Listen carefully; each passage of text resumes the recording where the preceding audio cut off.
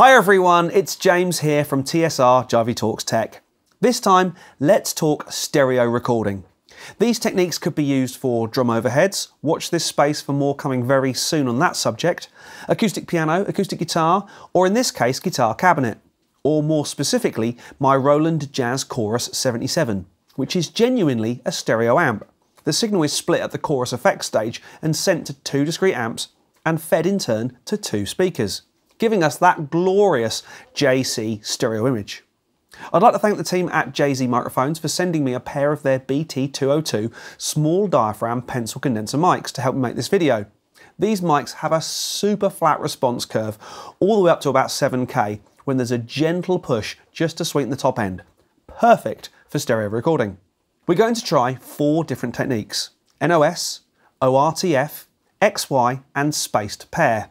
Now, if you trawl the internet for stereo mic techniques, you're going to find at least 100 different versions of each of these techniques. Please don't start shouting at me and start saying, you're doing it wrong, or that my ORTF mics are not at 90 degrees to each other.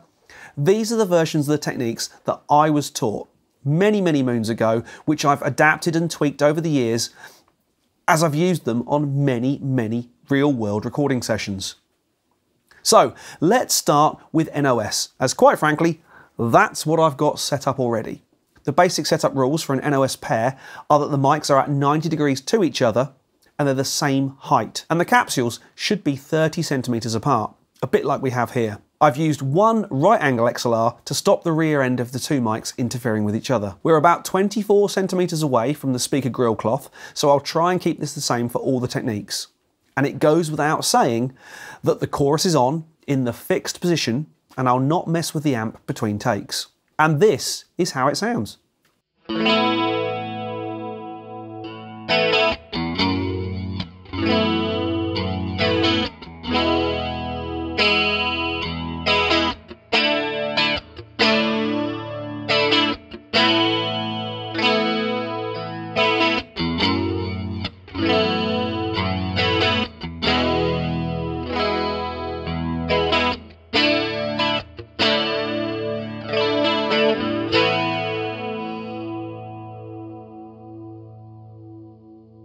An ORTF stereo pair looks a lot like an NOS setup. However, the mics are at 110 degrees to each other this time, still at the same height, but now only 17 centimeters apart.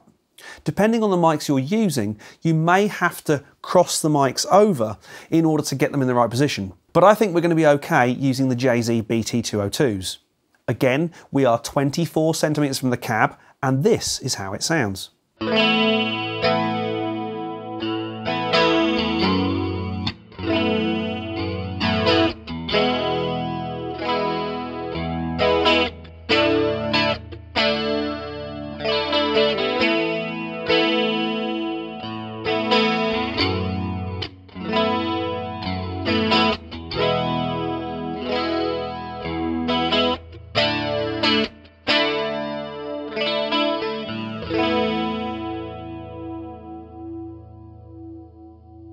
The next technique is the XY, or as some might call it, the coincident pair.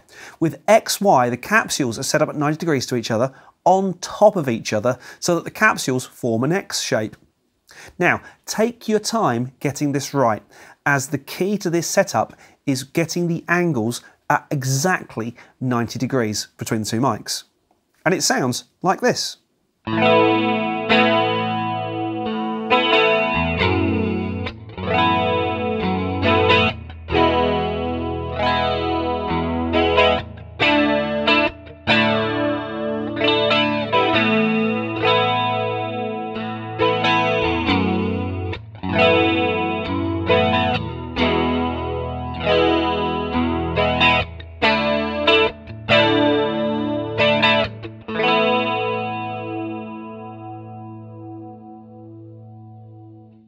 Finally, let's remove the stereo bar, bring in another mic stand and set up a spaced pair.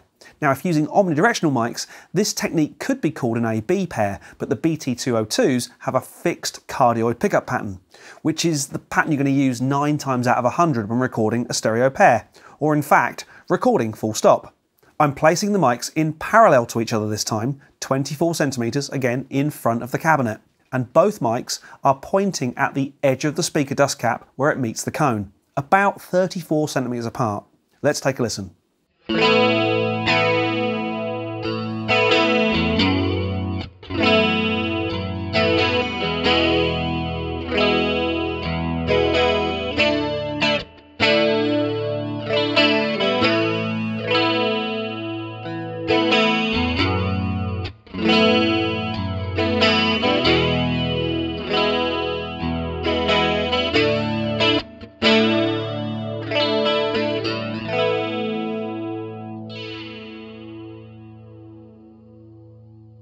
So now I'm going to play back the four examples in turn so you can really hear the differences between the four different recording techniques.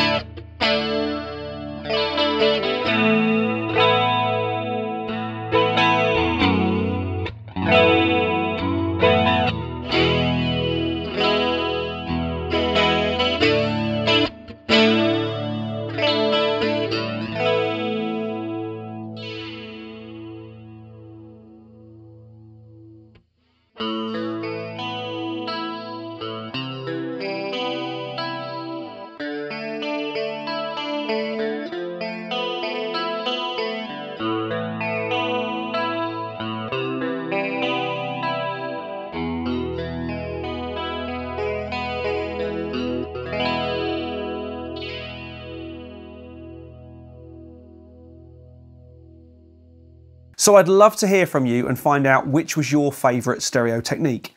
Which technique gave the best stereo image? Which technique had the most effect on the tone of the recording? For me, the ORTF and the NOS do sound very, very similar. However, the XY has a lot more bottom end, but not quite the stereo width. For me, if I'm being totally honest, the spaced pair was the best of the four for this particular scenario. We're getting the best out of the cabinets, we're getting the best out of the speakers. It just sounded right for me. ORTF, NOS, no problem. The XY did sound, I wouldn't say woolly, but certainly quite bassy and was the thickest of the four takes. I really hope you've enjoyed this video and it's given you some ideas for your next stereo recordings.